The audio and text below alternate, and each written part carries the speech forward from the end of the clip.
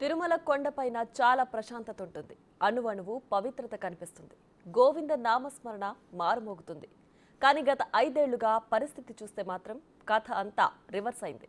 గంజాయి అన్యమత ప్రచారం liquor non veg ఇష్టానుసారం పైరవీలు ఒక్కటేమిటి? లెక్కలు మిక్కిలిగా తప్పులు జరిగాయి. దర్శనాల్లో రాజకీయ జోక్యాలు బ్లాక్లో దర్శన టికెట్లు అమ్ముకోవడం ఒక లీడర్తో వంద మంది వెళ్ళి దర్శనం చేసుకోవడం ఇదంతా చూసిన వారు ఏడు కొండల వాడ ఏమిటి పరీక్ష అనుకున్నారు? అయితే భక్తులను ఇంకా పరీక్షించకూడదనుకుని స్క్రిప్ట్ రాసేశాడు శ్రీనివాసుడు.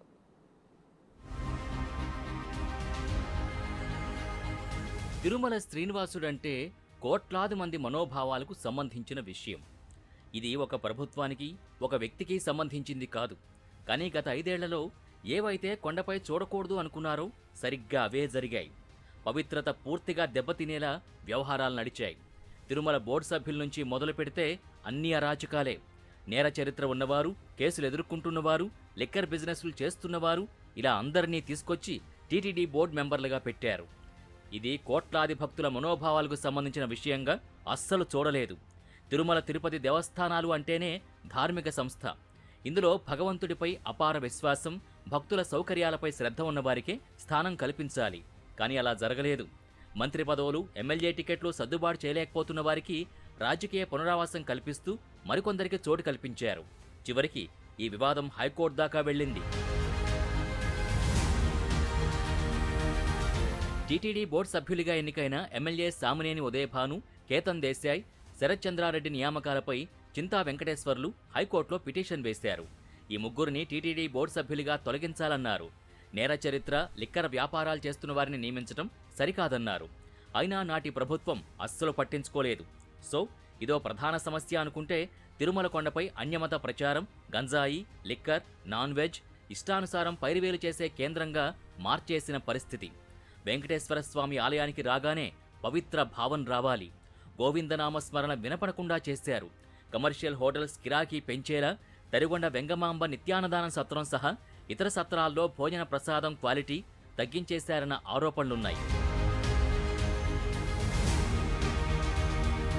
తిరుమల ఇప్పుడు పైరువేలకు కేంద్రంగా మారిపోయింది. నిజానికి టీటీడీ ధార్మిక సంస్థ కానీ మొత్తం వాణిజ్య కేంద్రంగా మార్చేశారన్న ఆరోపణలున్నాయి. కొండపై అడిగేవారు లేరన్నట్టుగా ఇన్నాళ్ళు వ్యవహారాలు నడిచాయి. విచ్చలవిడితనం పెరిగింది. దర్శనాలకు సిఫార్సు లెటర్లు వెల్లువెత్తాయి. రాజకీయ నాయకులు బోర్డు మెంబర్ల సిఫార్సులతో బ్రేక్ దర్శనాల్లో రద్దీ పెరిగి చివరికి సామాన్య భక్తులకి స్వామివారిని రెప్పపాటు కూడా చూసుకోలేని స్థితికి తీసుకొచ్చారు. రోజా లాంటి వారు కొండపైకి వెళ్ళిన ప్రతిసారి చాలామంది అనుచరులతో వెళ్ళడం విమర్శలకు దారితీసింది కూడా. ట్రస్టుల పేర్లతో కథ మార్చేశారు. క్యూ లైన్లలో ఇదివరకు భక్తులకు పాలు మజ్జిగ నీళ్ళు అందించేవారు. ఇప్పుడు అవన్నీ మాయమైపోయాయి.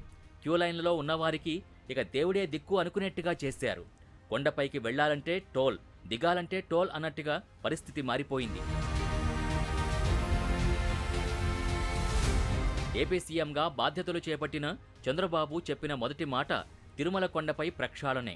అన్నట్టుగానే ఇంతకాలం టీటీడీ ఇన్ఛార్జీఓగా కొనసాగుతూ చాలా ఆరోపణలు ఎదుర్కొన్న ధర్మారెడ్డిని అక్కడి నుంచి పూర్తిగా తప్పించేసింది. ప్రభుత్వ ముఖ్య కార్యదర్శి జె. శ్యామలరావుని పూర్తిస్థాయి ఈవోగా నియమించింది చంద్రబాబు ప్రభుత్వం. ఉన్నత విద్యాశాఖలో పనిచేస్తున్న శ్యామలరావుని టీటీడీకి బదిలీ చేశారు. చిత్తశుద్ధి ఉన్న అధికారి తిరుమలలో ఉంటే బాగుంటుందనే ఉద్దేశంతో మొదటి స్టెప్గా ఈ నిర్ణయం తీసుకున్నారు. ఇక కొండపై మారాల్సింది చాలా పెద్ద లిస్టే ఉంది. అందులో తక్షణం జరగాల్సినవేంటో ఓసారి చూద్దాం. ముందుగా బోర్డు మెంబర్ల సంఖ్యని సింగిల్ డిజిట్కు పరిమితం చేయాలి. ఇందులోనూ రాజకీయాలతో సంబంధం లేని వారిని దేవుడంటే భక్తి శ్రద్ధలు ఉన్నవారినే నియమించాలి. కోర్టు కేసులు బెయిల్పై బయట ఉన్నవారిని పక్కన పెట్టాలి.